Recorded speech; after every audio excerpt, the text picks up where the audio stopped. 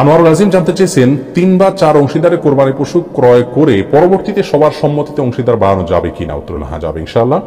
আয়ার খান রাজিন, আপনি জানতে চেয়েছেন, একদিকে আকস্মিক মৃত্যু, অর্থাৎ আগুনে পড়ে ও পানিতে ডুবে মারা গেলে শহীদের কাতারে থাকার কথা বলা হয়েছে। অন্যদিকে এই ধরনের মৃত্যু থেকে বাঁচার জন্য দোয়া শিখিয়ে দেওয়া হয়েছে।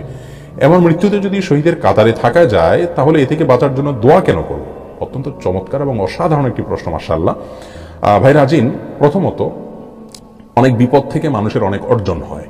কিন্তু অর্জনের জন্য কেউ বিপদে পড়তে চাইবে না। অর্জন বিপদ থেকে হতে পারে এবং নিশ্চিত হতে পারে, এরকমও পথ থাকতে পারে, কিন্তু তাই বলে কেউ নিজে থেকে বিপদ ডেকে আনবে না। নবী করিম সাল্লাম আল্লাহর কাছে একটি দোয়া করতেন।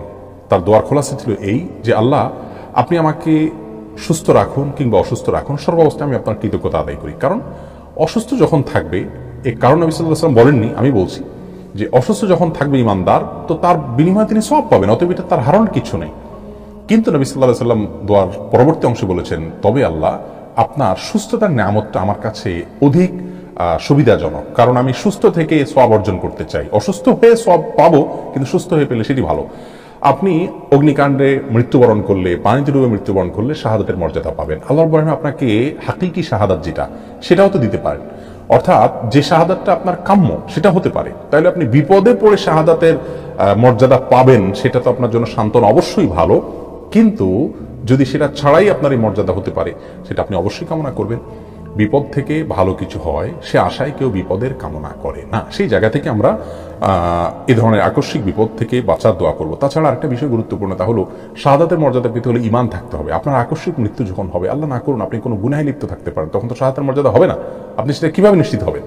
এই জন্য আকস্মিক মৃত্যু থেকে পানা চেয়েছেন নবী করিম সাল্লাহ আলহি ওসাল্লাম জাহিদ হোসেন, তবে হ্যাঁ আকস্মিক মৃত্যুকে আবার খারাপ মনে করার কোনো কারণ নেই। আমাদের সমাজে অনেকে মনে করেন যে আকস্মিক মৃত্যু মানে খারাপ মৃত্যু। নবী সাল্লাহ সাল্লাম বলেছেন যে মৌতুল ফজা বা আকস্মিক মৃত্যু, এটা ফাঁসের যে তার জন্য বিপদের। কারণ সে দুনিয়া যেটুকু ভোগ করছিল, এটুকুও সে জাহান নামে চলে গেল সে। যেহেতু ফাঁসে খারাপ মানুষ ছিল। আর যে ইমানদার, এটা তার জন্য বিশাল বড় কল্যাণের। কারণ সে হঠাৎ করে জান্নাতের দিকে প্রবেশ করেছে তার ইমান এবং নেকামলের কারণে। বিধায়, আকস্মিক মৃত্যু হলেই লোকটা খারাপ এরকম মনে করার কোনো কারণ নেই, তবে আমরা সতর্ক থাকব বিপদ থেকে বাঁচার জন্য।